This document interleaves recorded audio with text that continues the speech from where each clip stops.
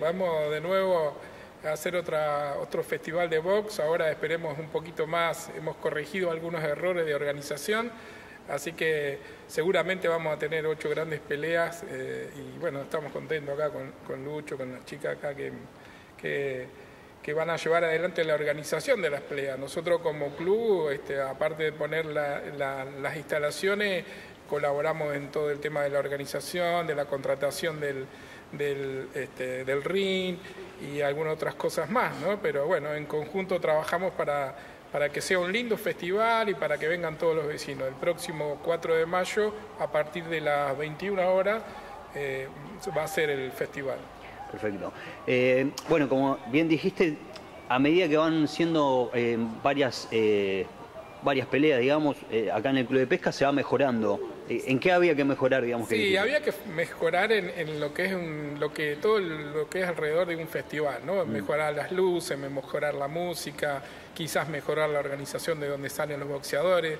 Son cuestiones que que bueno, este, hacer este tipo de eventos nos hace, nos hace conversar y, organizarnos un poco mejor. Así que la idea es que este festival sea mucho más lindo, o sea, tenga mucho más este, de espectáculo, de show, ¿no? Aparte del show y del, trabajo y de lo que hacen los chicos, los boxeadores, ¿no? Seguro.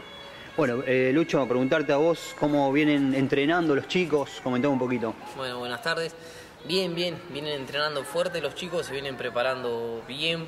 Eh, tenemos tres chicos que van a debutar, uno va a hacer una exhibición. Bueno, tenemos a Julio Rueda, que ya todos lo conocen, va a ser una de sus últimas peleas amateur. Eh, tenemos a Candela, va a ser su segunda pelea. Tenemos dos chicos, los hermanos varones, van a debutar. Tenemos a Ramiro, también que va a hacer una exhibición, así que nada, metiéndole fuerte toda la semanita.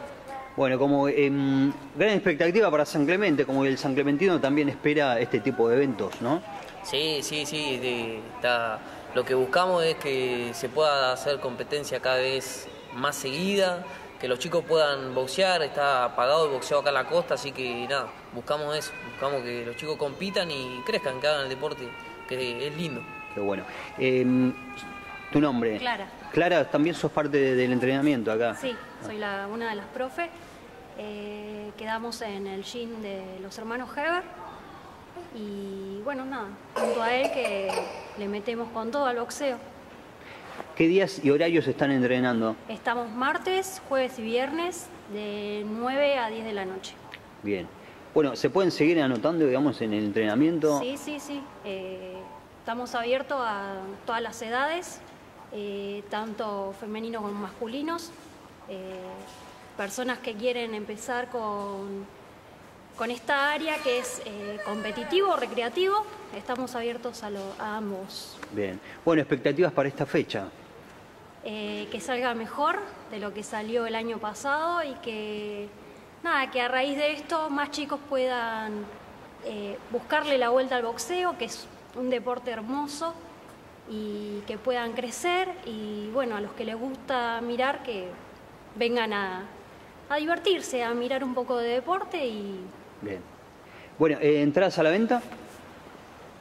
Entradas a la venta tenemos acá en el Club de Pesca, tenemos acá en la administración, sino en el gimnasio de calle 7 entre 16 y 17. Y si no, bueno, se pueden comunicar conmigo también, eh, que ahí en el, en el Instagram tenemos el grupo, eh, La Vieja Escuela se llama, el gimnasio, así que también ahí pueden pedir entradas tenemos las anticipadas dos mil pesos, es eh, barato a lo que está hoy en día las cosas. Así accesible. que, nada, invitarlos a todos, que vengan, colaboren, vean a ver un poco de deporte, que los chicos se esfuerzan mucho para, para venir a hacer este deporte que es muy sacrificado, muy lindo también y bueno, eh, invitarlos a todos. ¿A qué hora va a comenzar? A las 9 de la noche. A las 9 de la noche vamos a estar largando ya.